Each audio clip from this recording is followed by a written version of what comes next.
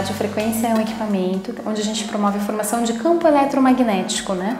Então, assim, é, aquecimento da pele mesmo. A gente aquece a pele a mais ou menos uma temperatura externa de 42 graus, quando externamente está 42, interno está 46. Quando a gente faz isso, a gente desnatura a fibra de colágeno para induzir a neocolagenase, a formação de novas fibras. Então, é um recurso que a gente usa principalmente para tratamento de flacidez. Como o calor também acelera o metabolismo basal da região, eu posso utilizar também para redução de medida, para quadro de celulite, por exemplo. É um dos melhores procedimentos que a gente tem hoje no mercado. Uh, é um procedimento muito seguro. Então a gente pode usar desde facial, corporal, a gente trabalha com uma média de oito sessões e o resultado é muito satisfatório.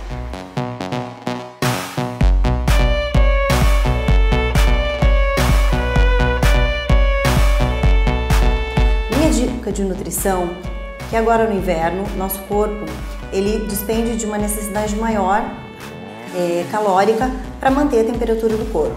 A questão dos legumes e das, dos vegetais, nós podemos consumi-los em formas de sopas de verdura. E a questão das frutas, nós podemos consumi-las de formas assadas ou até mesmo no micro-ondas. Uma dica que eu sempre dou é polvilhar um pouquinho de aveia em cima da fruta antes de colocá-la para assar. Assim, nós estaremos consumindo também a questão do, dos cereais integrais.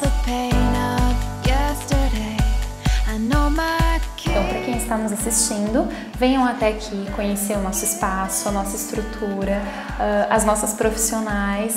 Nós temos uma sede no Água Verde, na Coronel Lucídio, e uma sede aqui no Batel no final da 7 de setembro.